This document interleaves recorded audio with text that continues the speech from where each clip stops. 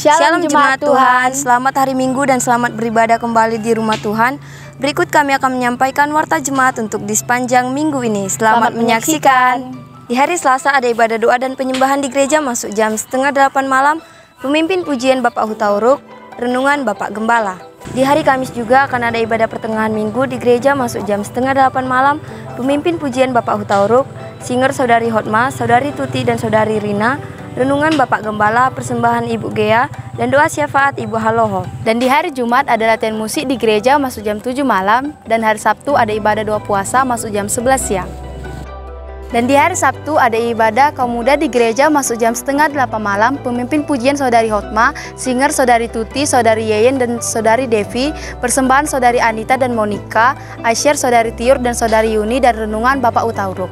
Hari Minggu akan ada ibadah raya sebanyak dua sesi. Ibadah raya pertama masuk jam 10 pagi.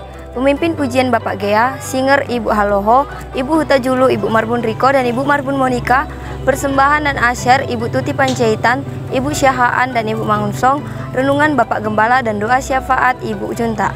Dan di hari Minggu juga ada ibadah raya yang kedua masuk jam 5 sore, pemimpin pujian Bapak Syaloho, singer Saudari Devi, Saudari Hotma, Saudara Yoel, dan Saudara Rahul, renungan Bapak Gembala, persembahan Saudari Devi, dan doa syafaat Ibu Tajulu. Dan jangan lupa bagi anak sekolah minggu untuk datang di ibadah sekolah minggu masuk jam 11 siang. Pemimpin pujian Saudari Helen, renungan Saudari Murni.